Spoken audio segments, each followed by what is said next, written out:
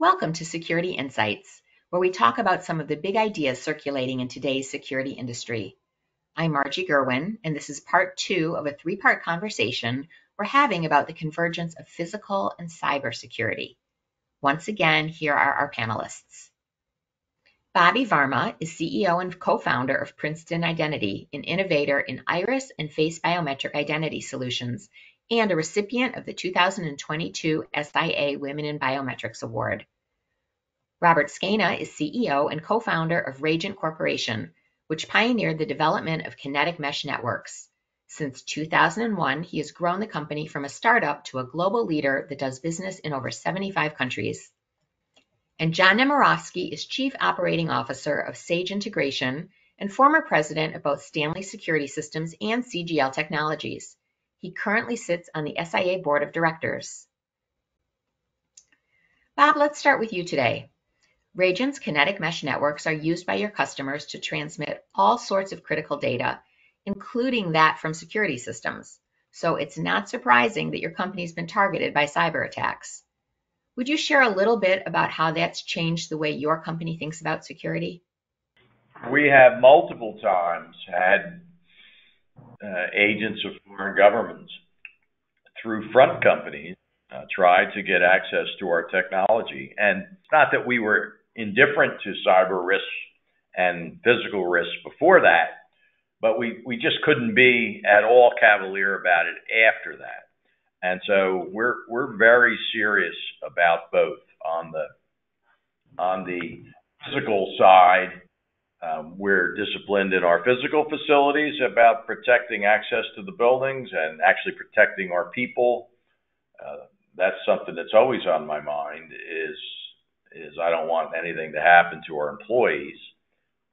On the on the the government attack, government sponsored attacks on our stuff, we we have since we just have a, a complete discipline in how we take on new customers, new partners. We we do a we have our in-house counsel does a background check on everybody that we may do business with, uh, any anybody that we may partner with, and we do that check, uh, a thorough check with with different agencies uh, prior to proceeding with anybody uh, anywhere on the planet.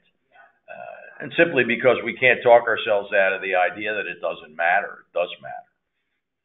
That's for sure. It really does matter. Thank you so much for sharing that. Bobby, let's move on to you.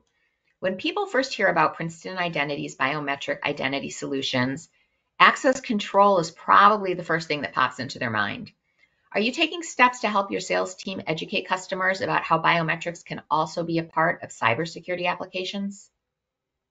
Yeah, absolutely. We always work with our salespeople to talk about not just physical access, but um, to understand where are the gaping holes. Uh, once once you enroll your entire employee database, could you utilize that employee database for other applications? And a, and a perfect fit is in the logical access, right?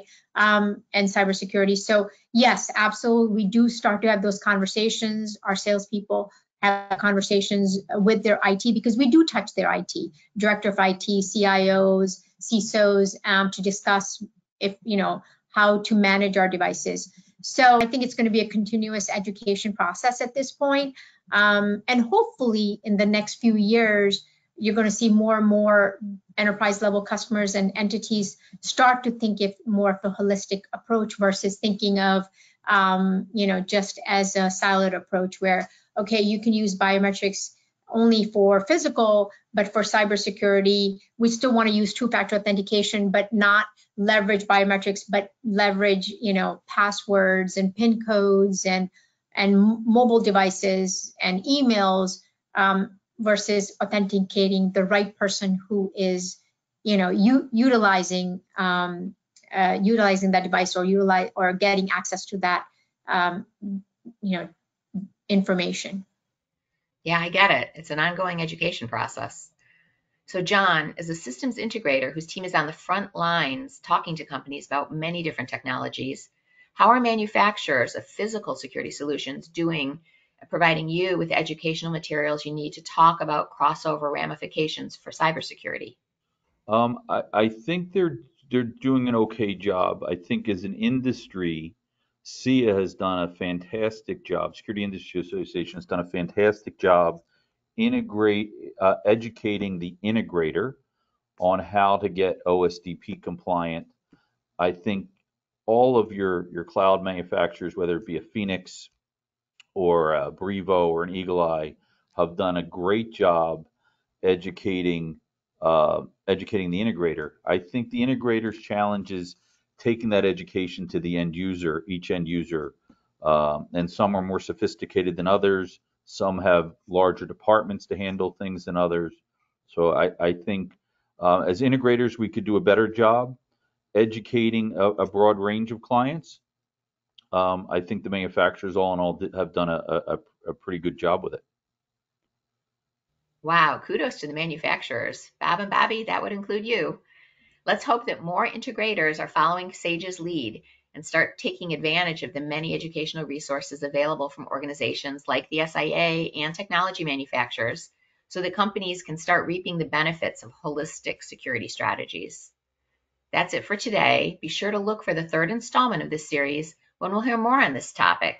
Thanks for joining us.